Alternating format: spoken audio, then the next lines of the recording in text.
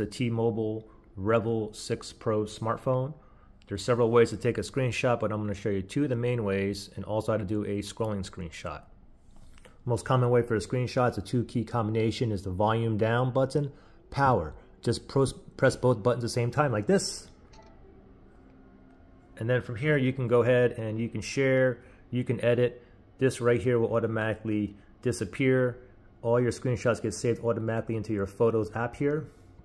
Just go there and go into the library and then you can see I have camera, movies, and screenshots, okay? So that last screenshot I just took is right there, okay? Second way to take a screenshot, if you have your assistant enabled. So I have mine assistant enabled, so if I press and hold the power button, take a screenshot. Okay, taking a screenshot. Okay, and then I can just go ahead and close that out, go to my Photos app again, and that last one I just took is right here. Now let's do what's called a scrolling screenshot. So let's say, for example, we open up a browser here.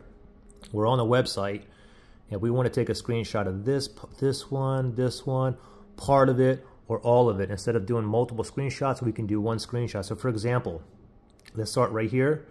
Let me go and take a screenshot, volume down power, and then you get capture down here. So if I tap on that, now I can go ahead and figure out how much I want of this page. Let's say I just want to go in the middle, right there, just like that. I just tap on save. And then this automatically gets saved into the Photos app as well. Tap on Photos app and that last photo is right there, or that last screenshot. And you can see how big that one was. Right, pretty simple.